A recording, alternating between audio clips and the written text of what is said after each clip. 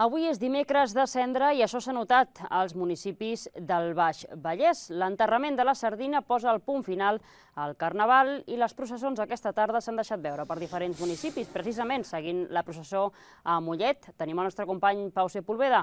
Bona nit, Pau. Com ha estat aquesta processó de l'enterrament de la sardina a Mollet?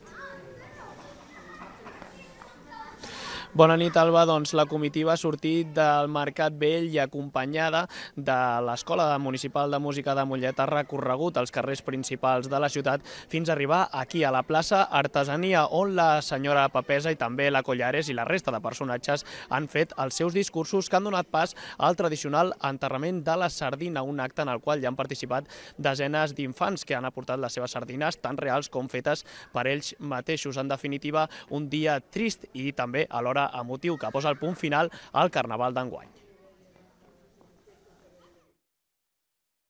el que damos final a lo que ha sido el carnaval. Totalmente. Y, y empieza el periodo de la cuaresma, que es un periodo de recogimiento, Total. es un periodo de introspección y es...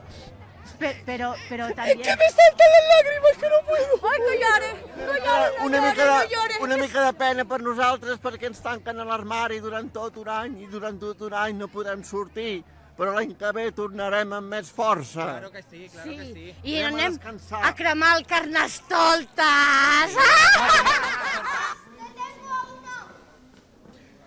Paral·lelament, el públic assistent ha pogut gaudir d'una petita xocolatada a càrrec de l'Associació de Veïns de la Fira d'Artesans, que tancaran el dia aquí a la plaça Artesania, com podeu veure al meu darrere, i ho faran de la millor manera possible, menjant sardines.